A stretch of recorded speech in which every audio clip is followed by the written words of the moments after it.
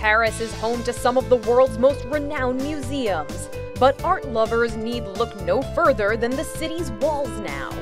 The famous but anonymous street artist known as Banksy painted the town with messages about immigration. Reports say the first mural was found on June 20th, World Refugee Day. It portrayed a homeless black child spray painting over a swastika. Another, with Napoleon fully covered in a bright red headscarf, seems to take aim at the ban on niqabs. The French government has cracked down on immigrants, closing 40 encampments and creating a surge in homelessness, as the French president has said the city will not be a haven for them. Banksy's support of refugees is apparent in at least six new murals that have popped up all over Paris. Although the artist has not claimed them, experts say they're consistent with his work.